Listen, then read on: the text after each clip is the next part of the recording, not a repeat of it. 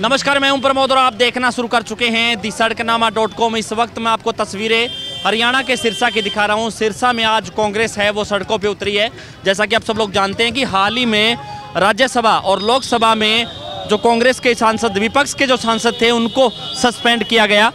उस निर्णय को लेकर के जो आज कांग्रेस है, वो सड़कों पर उतरी है। और हम आपको बता दें कि उपराष्ट्रपति जो है, उनकी मिमिक्री का जो मामला है वो लगातार बढ़ता जा रहा है। और अब कांग्रेस है वो सड़कों पे उतरी है। आज सिरसा की तस्वीर हम आपको दिखा रहे हैं क्योंकि आज आ, जो है कांग्रेस ने पूरे हरियाणा में एक साथ जो है आज प्रदर्शन कर रही है। और सड़कों पे कांग्रेस जन है वो उतरे हैं। सिरसा की तस्वीर दिखा रहे हैं जहाँ पे कांग्रेस के जो नेता हैं वो कांग्रेस भवन में एकत्रित होकर के और सड़कों पे उतरे हैं।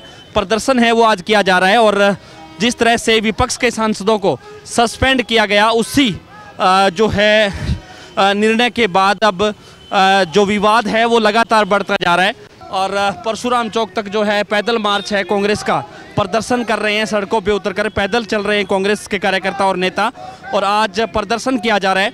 जैसा कि आप सब लोग जानते हैं कि उपराष्ट्रपति की मिमिक्री जो विवाद है, वो गहराता जा रहा है। और विपक्ष के सांसदों का जो सस्पेंड उनको किया गया, उसको लेकर के आज कांग्रेस है। वो सड़कों पर उतर रही है। एक साथ प्रदर्शन है, वो आज किया जा रहा है। देश भर में जो प्रदर्शन है, वो चल रहे हैं आज। सिरसा की तस्वीरें दिखा रहे हैं हम आपको। जहाँ पे कांग्रेस कार्यकर्ता हैं, वो प्रदर्शन कर रहे हैं और हाथों में जो है तख्ती जो नारे हैं, वो लगाए जा रहे हैं। तो तस्वीर दिखा रहे हैं इस वक्त हम आपको हरियाणा के सिरसा की। और इस इस प्रदर्शन का जो नेतृत्व है, वो सिरसा के कांग्रेस प्रभारी बजरंग दास गर्ग है, वो कर रहे हैं। और पूरे सिरसा ज़िले के जो कांग्रेसी है वो पहुँचे हैं। भाजपा सरकार द्वारा दोनों सदनों में 146 सांसदों को जो सस्पेंड किया है, इसकी कांग्रेस पार्टी घोर निंदा करती है। ये पूरी तरह से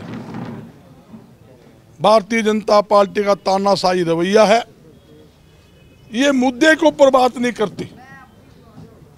जब कांग्रेस महँगाई, बेरोजगारी, खराब कानून व्यवस्था, किसानों की बात करती है, उस पर चर्चा नहीं करती।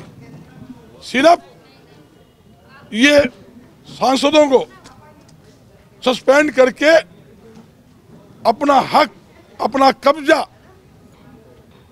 सदन में जमाना चाहती है। मैं ये बताना चाहता हूँ, अगर उन्होंने सदन के अंदर विपक्ष के सांसदों को बोलने ही नहीं देना। तो संसद बुलाने की बार बार क्या ज़रूरत है? क्यों जनता की नेक कमाई को करोड़ों रुपए ये खर्च कर रहे हैं? जबकि, जब भी लोकसभा, राज्यसभा का सदन होता है, प्रधानमंत्री जी, लोकसभा के स्पीकर जी, ये कहते हैं, विपक्ष को हर पॉइंट के ऊपर बोलने का मौका दिया जाएगा। चर्चा की जाएगी। बताइए कौन सी बात पर चर्चा की? ये बताइए, जहाँ सुरक्षा के मामले आया आपके सामने सदन के अंदर, सुरक्षा के अंदर पूरी तरह से चूक हुई, उसके ऊपर रक्षा मंत्री जी का कोई जवाब आया? उन्होंने कोई जवाब दिया? कोई बात करी? जब उन्होंने बात करने की कोशिश की भी क्या मामला है क्यों कैसे होगी? चार लेयर की स्कॉटी होती है। जब वो संसदी सुरक्षित नहीं है। आम जनता की सुरक्षा कैसे करेगी? इस राज के अंदर ना तो जनता सुरक्षित है, ना व्यापारी है, ना नागरिक है, ना बहन बेटी सुरक्षित है। यहाँ तक कि हमारी महिला राष्ट्रीय कोष सुरक्षित नहीं है, हमारी राष्ट्रीय खिलाड़ी सुरक्षित नहीं है। आपने देखा विधानसभा के अंदर जो हमारी राष्ट्रीय कोच है, जो संदीप मंत्री के ऊपर आरोप लगाया था, जिसके खिलाफ, संदीप सिंह के खिलाफ चंडीगढ़ के अंदर एफआईआर दर्ज है। सरकार ने क्या किया? सरकार, मनोहर लाल जी, संदीप सिंह के हक में बयान देकर उसको बचाने में लगे हुए हैं। इसी प्रकार, जिस प्रकार जो हमारे राष्ट्रीय खिलाड़ी, जिन्होंने विश्व के अंदर भारत देश का नाम ऊँचा किया, आपके सामने कैसे रो रही बच्चे आज? आपके सामने स्थिति है।